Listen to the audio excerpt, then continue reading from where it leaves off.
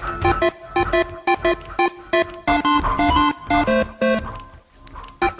you.